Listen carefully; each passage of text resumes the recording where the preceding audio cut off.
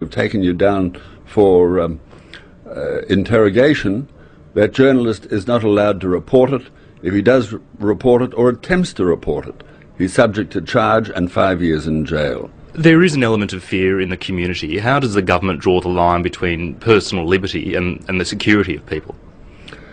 If you do believe in the rule of law and in due process, you just believe in it and you believe our system will prevail. We don't adopt the methods, the techniques of tyrants or of terrorists. Are you saying that this law is the, is the equivalent of a law of a tyrannical society?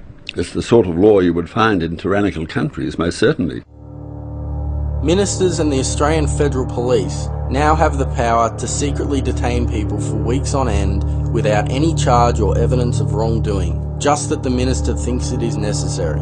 Anyone, including family members, lawyers and the media, who reveal that the person has been detained can be jailed for five years. Parents cannot even inform each other.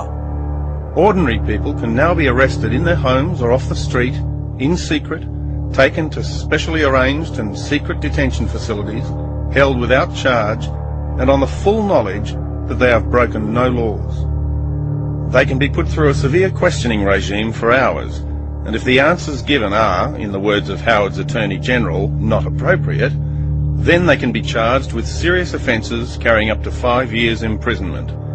You can be interrogated for hours on end, and the detention can go on for seven days, and then might be continued for a further seven days, and then even indefinitely on rolling warrants.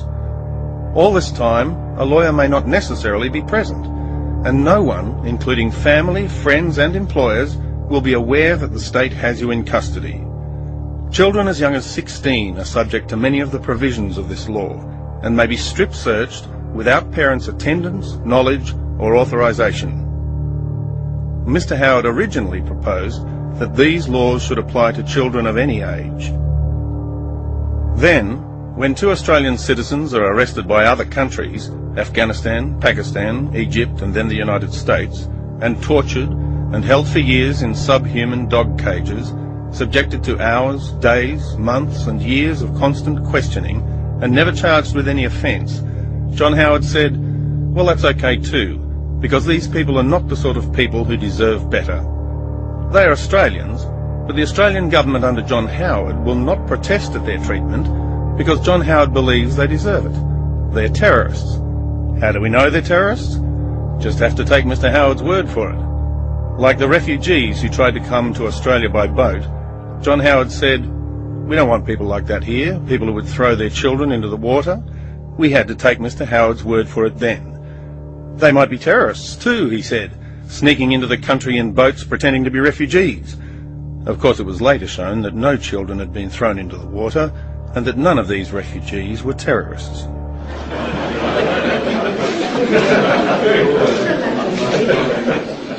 Now terror has come to Australia. Mr Howard says we need tougher laws, and he gets them. Australians can now be abducted off the street like some third world dictatorship, Pinochet's Chile, or Stalin's Russia, and held by security police in secret and incommunicado. Not terrorists, or even those suspected of terrorism, but ordinary Australians who might happen to have some information that the security police think is of interest. But that's okay, because we're fighting a war, a war on terror, so laws and civil liberties have to bend to make the country a safer place. But where does it all end? First foreign refugees, then Australians overseas, now Australian citizens, but not you and me.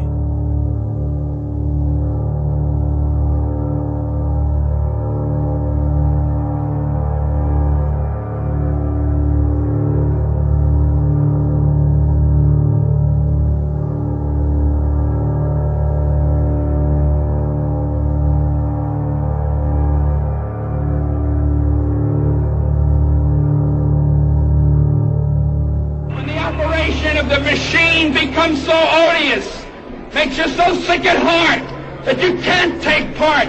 You can't even passively take part. And you've got to put your bodies upon the gears and upon the wheels, upon the levers, upon all the apparatus, and you've got to make it stop.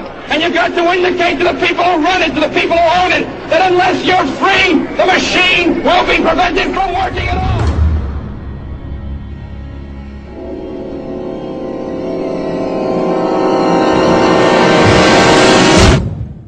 We are here today because fear is never a good enough reason to do nothing.